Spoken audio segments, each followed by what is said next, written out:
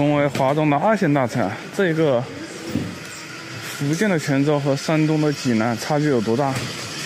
说实话，真的是这个远超想象。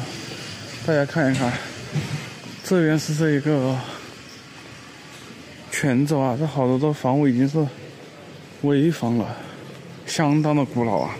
当然，济南那边也有这种古老的城区啊，就是济南古城内部，它这边就等同于济南古城内部了。但是我感觉它这个古城怎么说呢？感觉好像要更老一些。你看这边街巷，这两个城市从这个 GDP 上来看的话，二零二二年都是这个。一万两千亿啊，感觉都是差不多的，但实际上这两个城市差距之大，确实啊，远超想象。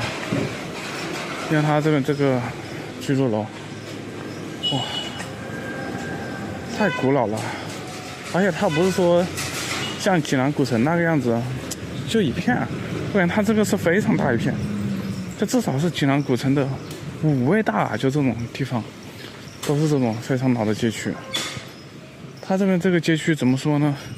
它这还可以跑车，济南古城内部的，它是那种巷道式的，你这个跑车很困难，就一个车道，你一个车子跑就堵住了。它这边还可以跑两个，它这边就是那种老社区、老片区啊。济南古城的话，就古城内部，就是那一个什么大明湖啊、趵突泉，那个护城河环绕的那一个内部。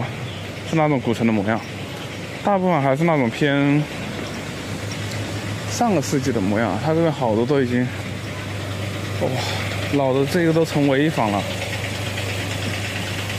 这个实在是太厉害了，在济南古城那边还没有看到说已经成危房、已经垮塌了的。这边什么新桥，限高还四点五。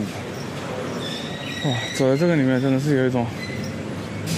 恍如隔世的感觉，感觉像穿越越到了这个上个世纪。这两个还都是这个历史文化名城啊，但是我感觉这一个泉州这边啊，可能还要更古老一些，啊感觉。你看这是什么？这是挡水的，这呀，这外面应该是这个挡水的墙。就是涨水涨得最高的时候，可能就会淹到这里来啊，然后把这个大门一关，这个就淹不进去了。这就是一个挡水的这一个什么防洪堤一样的，哇，这个也是非常的厉害。济南大家知道为什么叫济南吗？它这个整个这一个城市都建在济水的南边啊。当然现在济水不存在了，古代是四大古河啊。哪四大呢？江河淮济啊。就是长江、黄河、淮水和这个济水啊。后来因为这一个改道不对，黄河的改道，济水很多都被吞到黄河里面去了，所以现在没济水了。整个现在济南是在这个黄河的南边，那为什么北边没有呢？因为这个北边过于泛滥了，所以济南的这个城区都是建在了黄河的南边。这里写啊，土地后汉闸，这也是一个大闸门啊。哇，这个那它这边淹水的时候能淹得很厉害啊，那这一块就不能跑车了，真是厉害啊，远超人的想象，真的是远超人的想象。我在别的城市还没有见到过这种景象。嚯，你看这边有啊，果然跟我猜的差不多。啊。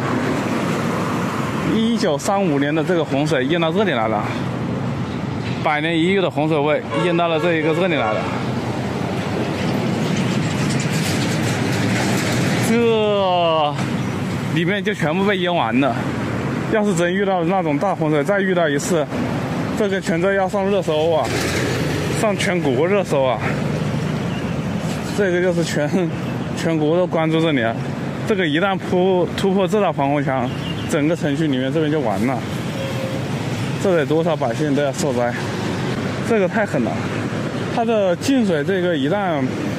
发洪起来这么厉害吗？这边不是进水了，晋江这么牛吗？比他们第一大河闽江那边还牛，太牛了！在全在济南那边还没有这种情况，非常的厉害啊！泉州这边我感觉更古老一些，虽然从历史上来讲是济南更古老一些，但是走在这边街区，它现在保留的这些东西，感觉它更古老一些。